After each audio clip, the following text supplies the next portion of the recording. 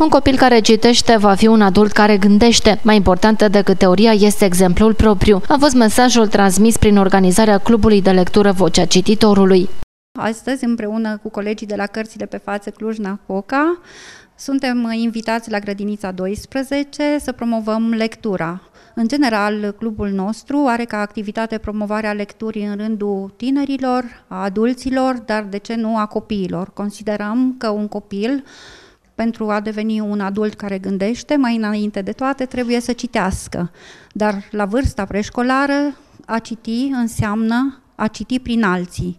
De aceea, astăzi, colegii mei de la Clubul de Lectură, împreună cu mine și cu cei de la Cărțile pe față, având-o astăzi prezentă pe Meda Mureșan, ne-am uh, străduit să aducem un plus de originalitate activității și să intrăm în sălile de grupă. Am citit copiilor, mai apoi am ascultat o lectură după imagini din care să ne dăm seama că ei au înțeles ce s-a citit și am venit cu fiecare grupă să construim biblioteca vizitatorului, o bibliotecă în care noi, cei de la Clubul de Lectură Vocea Cititorului Alba Iulia, ne propunem să aducem măcar o carte pe lună pentru adulți și pentru copii care vizitează grădinița aceasta.